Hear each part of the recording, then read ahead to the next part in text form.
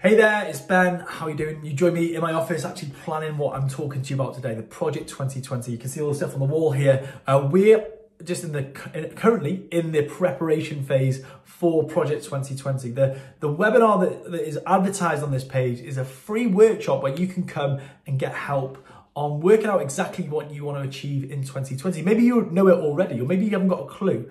But I've been saying this quite frequently that the, the 2020 is like the Monday of the new decade. If we can get you to have a tremendous start to the next decade, imagine where that's going to lead in the next 10 years. Amazing. So all you need to do, if you're interested on, in taking action on your goals and you want some guidance and support and some ways to go about the things that you know that you really want to achieve, all you need to do is click on this link and register for the webinar. It's a free workshop where I will share with you some of the skills uh, that I've got to help people move from uh, success to success when it comes to pursuing things like body transformation, more energy, more success, more productivity.